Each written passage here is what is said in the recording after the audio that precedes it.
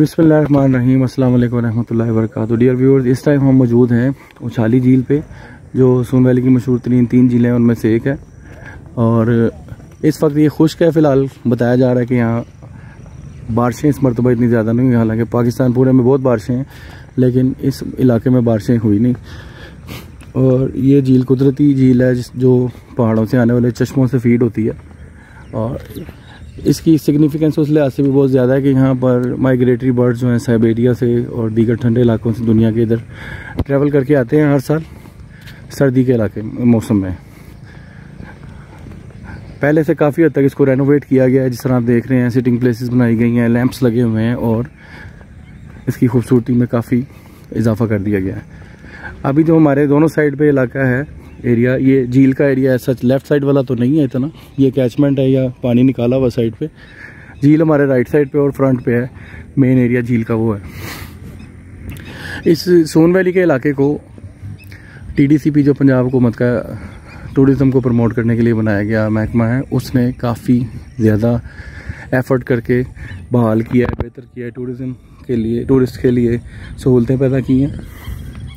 जिसकी वजह से अब ओवरऑल इधर आने का एक्सपीरियंस बेहतर हो गया है।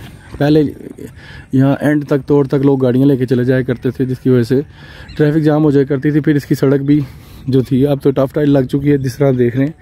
पहले सड़क थी जो कि जा बजा जगह जगह से टूटी रहती थी और हादसों का बायस भी बनती थी। गाड़ियाँ भी बास खात गिर जाया करती थी। अब यहाँ तक आने का जो रास्ता है, जो रोड नेटवर्क है, वो इतना मुनासिब नहीं रह पाता, क्योंकि जो झील को फ़ीड करते हैं, नदी नाले, चश्मे, वो चारों तरफ़ से ही इसके आते हैं। चारों तरफ़ देखें, पहाड़ हैं इसके। ये सारे जो हैं, चारों अतराफ से जो पानी आता है चश्मों का, वो इसमें गिरता है। उसकी वजह से जो पानी के रेले आते हैं, बारिशें ज़्यादा हों तो तो वो आते हुए रास्ते में सड़क को उड़ा ले जाते हैं। तो इस इलाके में सड़क जो नॉर्मल इलाकों की तरह बनती है, वो कामयाब नहीं रहती। और अगर ये भी नहीं पता लगता कि पानी ने किस तरह से आना है, अगर पैटर्न हो, कोई नाले बने हो तो भी उधर वो पुल वगैरह बना के ऐसी सड़क तमीर की जा सकती है। मगर क्योंकि पानी का पीछे से इनपुट जो है वो चैनलाइज नहीं है तो अक्सर जो है वो सड़क को तोड़ फोड़ का शिकार कर देता है पानी के रेले।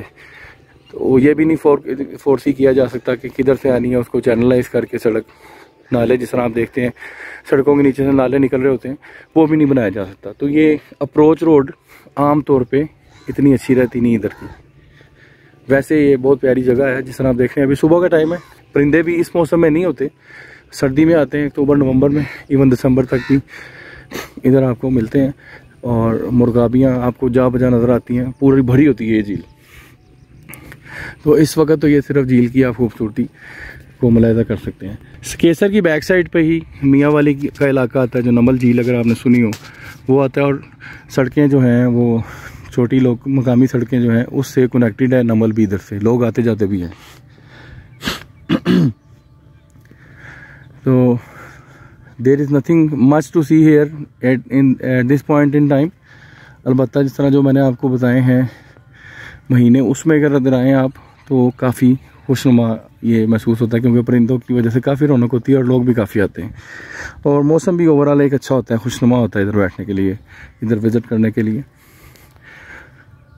अब मैं आपको आगे से जाके झील का मंजर झील में थोड़ा सा आगे बढ़ते हैं तो ये टक शॉप बनी हुई है इधर, और एक टक शॉप बनी हुई है इसके आगे जहाँ पर बोटिंग के लिए उन्होंने साहिल सा बनाया हुआ है या जहाँ से कश्तियों पर आप बैठते हैं। उसके साथ भी एक ट्रक शॉप है। बारबेक्यू भी इधर मिल जाता है आपको। और आप कर भी सकते हैं खुद ला के ऑफकोर्स दीगर स्नैक्स वगैरह भी अवेलेबल होते हैं। और दूर पस मंज़र में देखें तो आपको कश्तियाँ भी नज़र आ रही हैं, वो झील के दरमियान में खड़ी हैं किसी वजह से। शायद बोटिंग का सीज़न नहीं होगा। ये टाइम अभी बहुत सुबह सुबह का है।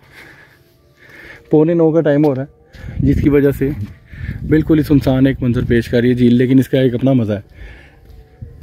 मेरे लिए तो कम से कम ये नया तजर्बा है। मैंने कभी इतनी सुनसान नहीं देखी ये जगह।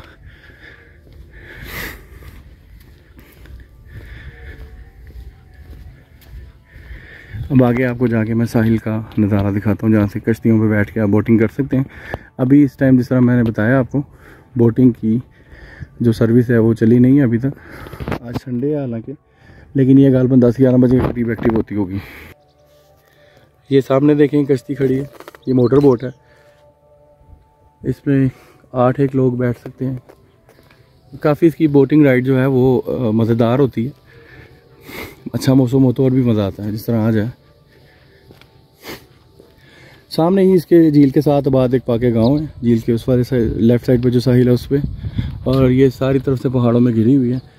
सामने वाली साइड पे एक और झील है, इससे क्रॉस करके तकरीबन पैंतीस, पच्चीस तीस किलोमीटर के फासले पर, जिसका नाम कबेकी है। और कबेकी से ही आगे, इन पहाड़ों से पीछे कनहट्टी बाग है, जो कि इन तला हम आपको ज़रूर दिखाएँगे। यहाँ से फ्री होके। और सकेसर बेस पे भी हम जाएँगे, लेकिन जितना एरिया वो विज़िट करने देते हैं, उतना। बेस आजकल अलाउ नहीं है जाना। सिर्फ़ हेलीपैड तक और फुलवाड़ी गार्डन बंगला एक रेस्ट हाउस है, वहाँ तक जाने देते हैं। देखें, बिल्कुल सब कुछ बंद है इस टाइम अभी काम इधर का बिज़नेस एज यूजल स्टार्ट नहीं हुआ है।